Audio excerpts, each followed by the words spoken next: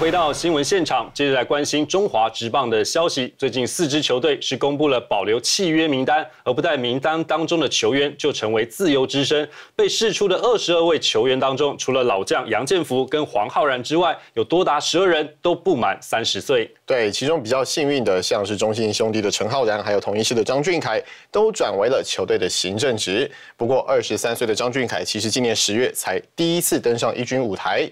如今就要卸下球员的身份，难免有些感慨。中华职棒在十二月二号公布四队保留契约名单。从释出名单来看，不只有老将杨建福和黄浩然，在这二十二人里头，就有十二名球员是三十岁以下。尤其老米狗的林宗伟更只有二十一岁而已。不少年轻球员还没机会在一军舞台发挥，就遭到释出。虽然说部分球员像是中信兄弟的陈浩然转任行政职，同一时外野手张俊凯也成为球队司机。但是说起二十三岁的张俊凯，二零一三年高中选秀被统一师在第三轮选中，二军苦熬一千八百九十四天，好不容易在今年十月圆了上一军的梦想。如今放下球棒转任行政，虽然感谢球队机会，但也难免有些不舍。如果可以，当然是希望继续打。对啊，可是既然没有这机会，可是刚好公司有这个职缺，让我有机会继续为球队服务，也是不错。之前是有想过，一开始讲的时候有有这样想过。对啊，可是想一想，因为一开始还在当选的时候，可能比较没那么多机会。嗯。啊，现在转一个行政缺之后，就觉得好像也是不错啊。对啊，帮助可能可能会有更多机机会帮助球队这样。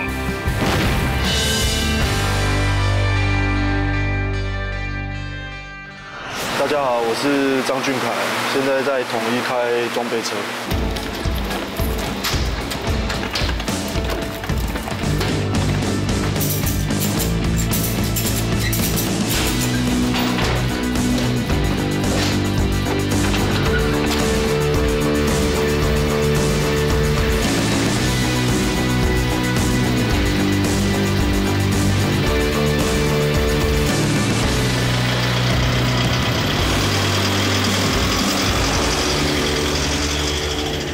车大概都是在外出比赛用球吧，还有雨天下雨的球，还有他们的 case 之类的这样。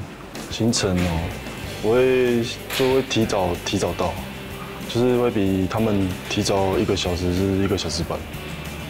啊，先把他们东西用好整理好，啊之后就等他们来这样。六点半的话，应该一点就要出发了。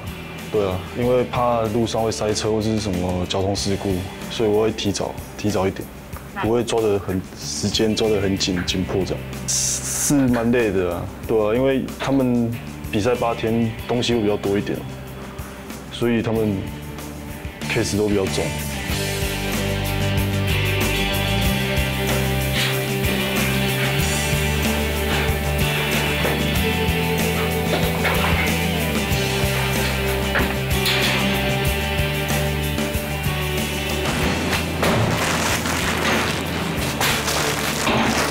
啊？现在没有啊，就把那个送，因为我们是送起在台中送的，对，那就把它放放好这样，他们等下来比较方便拿。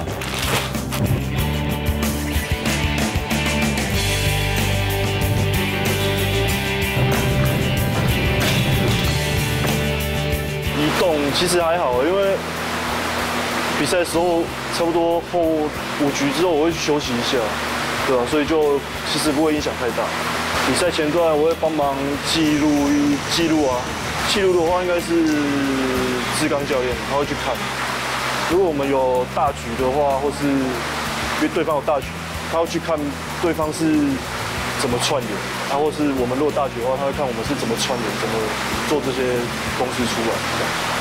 对啊，看比赛看场上有什么东西要帮忙的还是怎样，就会帮忙一下。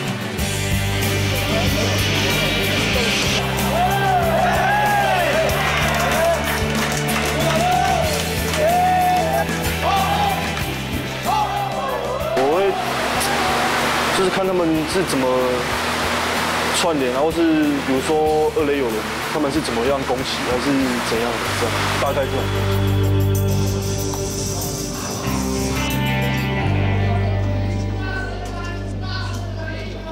我跟他认识十年了，对啊十年，为什么？国中就认识了。对啊，就认识了。他叫水果，对，他国小哎、国中就开就认识了。我在搬东西的话，他可能就推东西过来给我搬，对啊，或是我要在我在下货的时候，他可能就会在上面帮帮忙帮助我这样。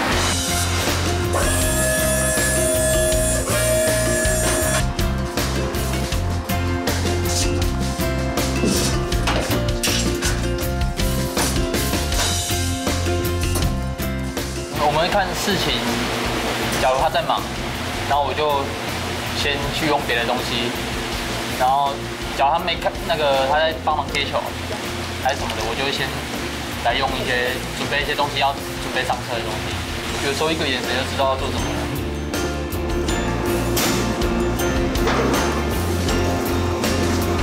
辛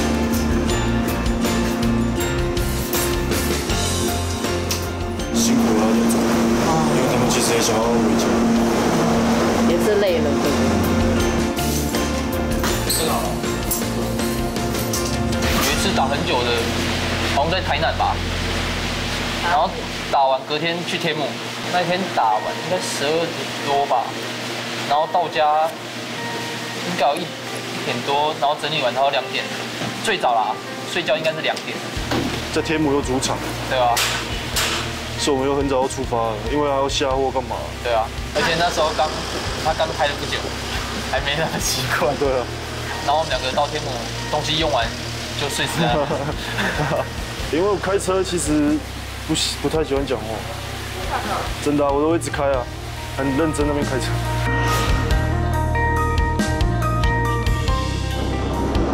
因为我原本对开车就蛮蛮蛮有兴趣，喜欢开车。对啊。所以所以一开始接这个开这个时候，我开一下下就蛮会开。有时候可能他们打的比较晚，哇，就回去开车会比较累。对，讲，只要打到十一二点，那你要搬东西干嘛？等整理完，到你要开始的时候，都已经十一点半，那你要再开回去，或者下货用一用，那就三点。我觉得事情不能这里。不能睡觉，不然他他会生气。哇，为什么旁边不能睡觉？啊？为什么旁边也不能睡觉？不是啊，那种感觉就，我们两个是一起上班，嗯，对啊，那、你为什么要睡觉？对啊，你又不是我的长官上司，对啊，那种感觉啊，我自己是这种想法。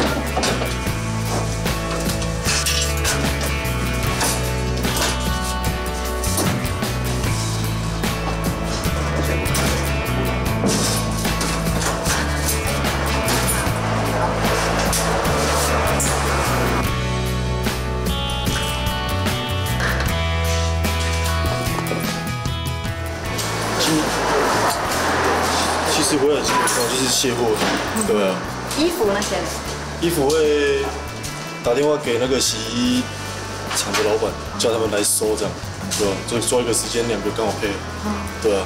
他们那边比较轻松吧，对啊，他们练比赛完，他们就把球带给我们就好，他们就可以上车了，对啊。啊，到球场他们就可以直接进来，就准备换衣服干嘛，就是准备比赛这样，对啊，就不用再有多一个搬的东西搬搬东西的那个，对啊。呃，一开始会啊，对我想说，为什么不是别人开车帮我搬球器？台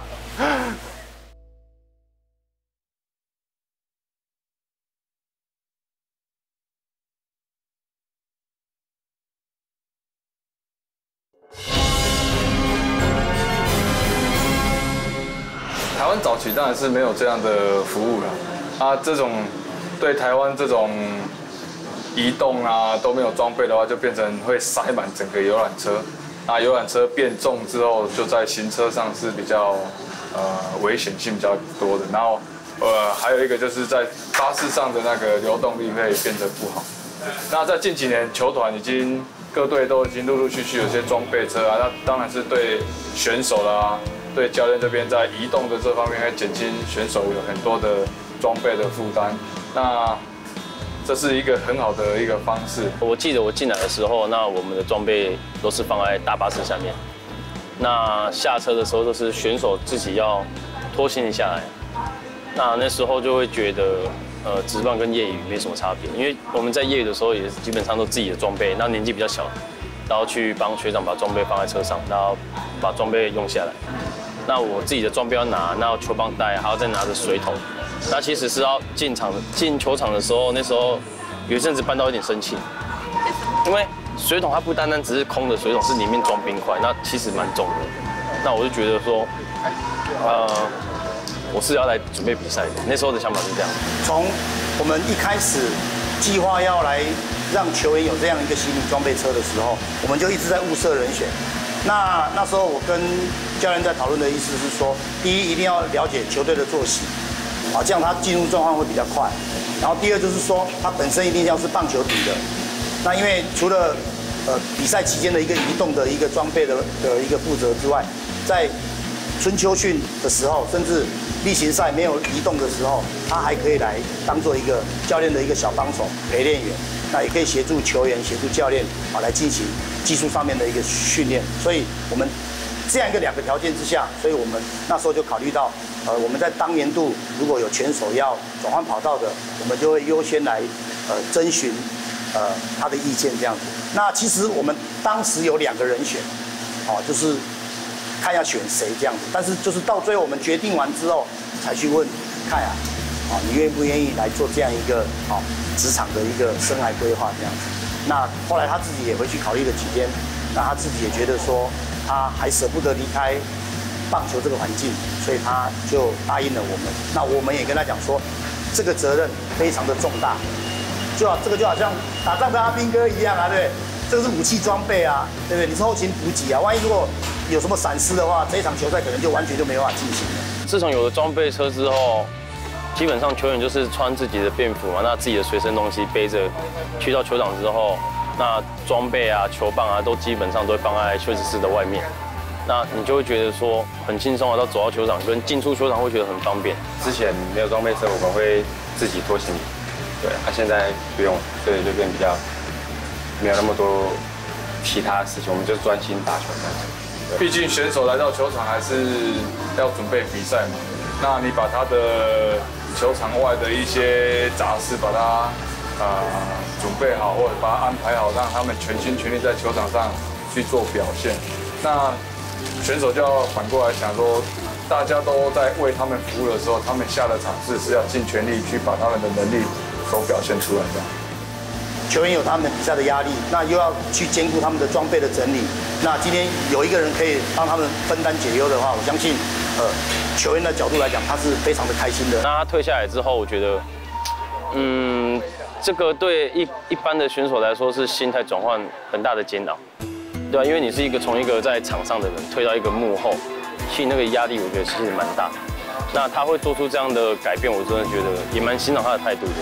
他非常的可爱啊，因为有时候他熊熊都会爆一个很无厘头的的的一句话出来。有时候球赛在比赛过程当中，他也是会就会讲说哇，这种球啊，我来打就可以了，啊，就会讲一些这种，大家听得很会心一笑，然后莎拉就觉得奇怪，他的反应怎么会讲这些东西出来？所以有时候大家跟他在一起工作还蛮好玩的。反而他追下来当行政的时候，哎，这样公司发现说他真的是一个脑筋转得很快的一个孩子。不仅开车，那有些时候都会帮我们的练习生啊做一些可能接球、传球或搬东西的东西。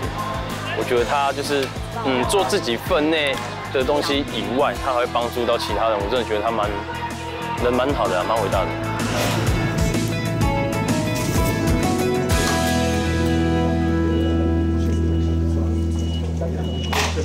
我记得在后半段的时候，他突然上一局，那那时候看到他，我觉得哎，他怎么在上面这样子？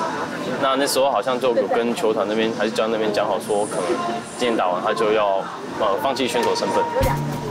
对，那那时候我记得在桃园，那他上去打的时候，其实场下的人都蛮认真帮他加油的，因为毕竟这对一个球员来说是一个，我觉得是很可惜的地方啊，因为结束真的很可惜。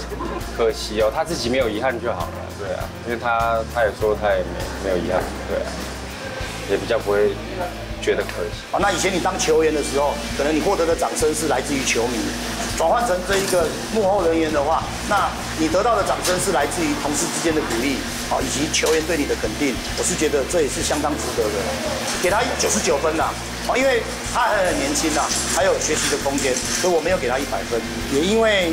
他这样的个性，然后我们也也从他在球员生涯，我们也有去观察他的为人处事，哦，那我们也了解说，哎，他算是一个呃呃可信度很高的一个大男孩。那这两年下来的表现，那也深获得教练以及选手之间的肯定，这样子，对。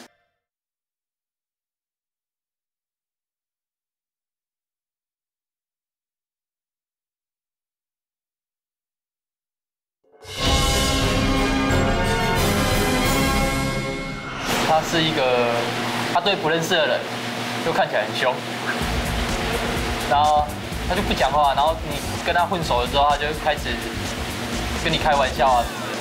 他是一个很好相处的人，应该又是贵人彪哥吧？对啊，因为当初有这个工作的时候，是彪哥有去争取说想要一个懂棒球，还有在这里上过班的。总教练他们刚好在问说我要不要接这份工作，啊，刚好那年就被释出，所以就这个机会接下这个工作。我想说，既然有这个工作还可以居留在边，我就想说那就接接这份工作吧。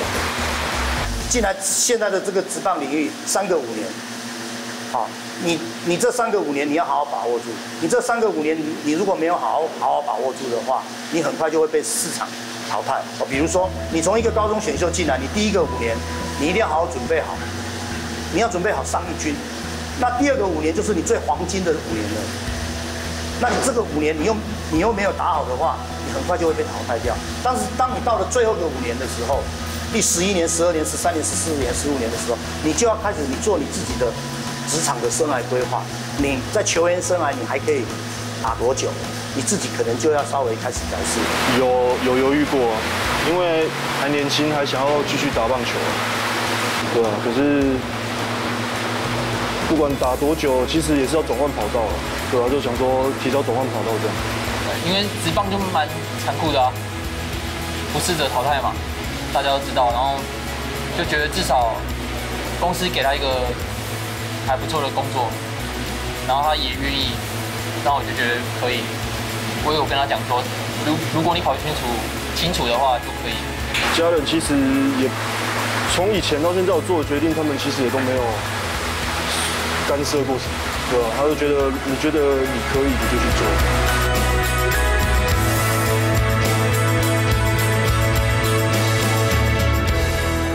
就是那个买房子啊。买房子。那我必须要钱，试出的。是出那年的七月买的，对，他们就想说，因为家人要买要，就是说要买，啊，我就那边想说到要吗？因为我知道我差不多也要被释出，所以我就很犹豫啊。所以啊之后他就还是买了，对，那刚好因为已经开始贷款了，所以我的钱不能不能就是停掉这样我会造成这样所以我那边想说如果有的话然后我就留下来不管做什么我就留下来因为我只是要赚钱。然后我就想跟他说不如在这边一样找稳定的工作至少先待着一阵子然后如果更外面有更好的机会我们再跳脱还是这样？我就跟他讲稳稳定啊稳定比较重要啊。有，我自己心里就这样想啊。对啊，默契对不对？对啊，因为我觉得，对啊，因为刚买房子，一定要稳定的工作，对啊。我们家人都同意啊，我是还好，对啊，因为我想说我工作不稳定，我买的话，这样会很麻烦，对啊。而且我先啊，刚好他们都说要买，我只能服从，对啊，少数服从多数。啊，刚好是公司有这个机会让我留在这边上班，所以我就想说，不然先在这边上班，先稳定一阵子之后再看怎么样。对。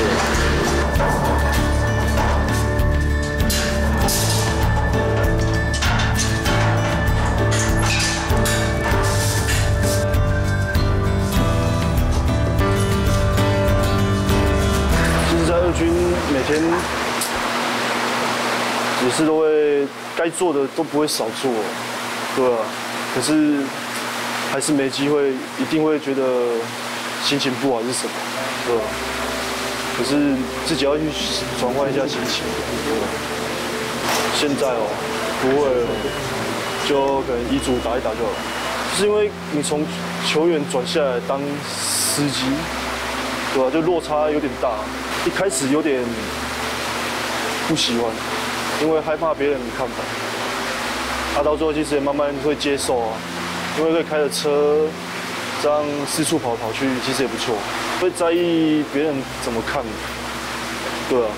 那可是后来想想，等于说，其实大家都是出来工作的，自己就不会这么就不会想太多了，对啊。可能去外面当教练吧。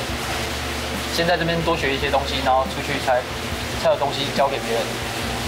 然后就先学啊，反正这边很多教练很多东西我都可以学到。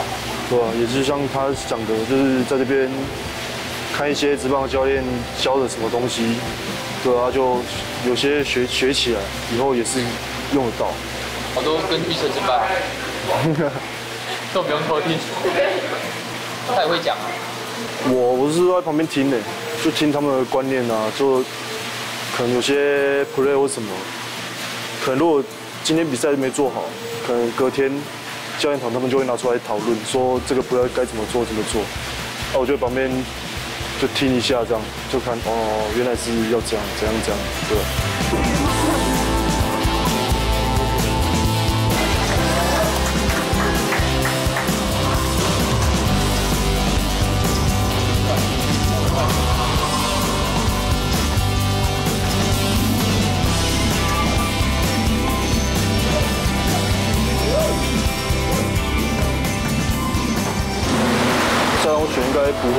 想要去大学，对，在大学再磨练一下，再出来选会比较好。